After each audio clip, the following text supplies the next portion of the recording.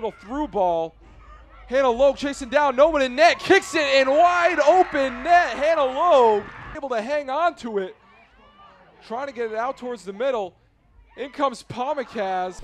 Iron Monroe with head coach Joe Nemzer after a 2 0 win in conference play over Wagner, moving to Mount St. Mary's into 2 and 3 overall in conference play. Coach, huge win for you guys. What did you guys like about today's game?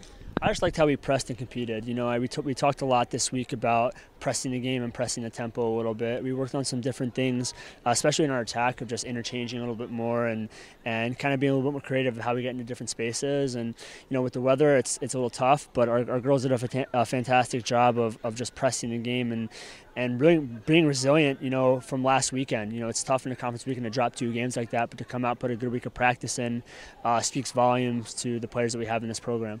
Take us through that goal and what you were seeing there.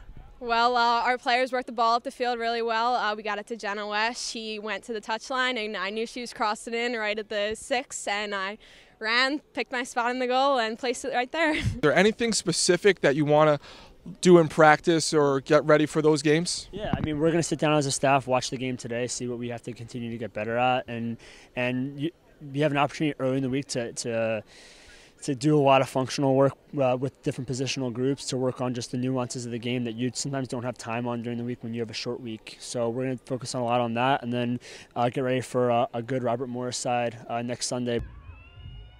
Working away into the corner, trying to cross it. Great headed, and it is good. Gianna Pomacaz with the head, top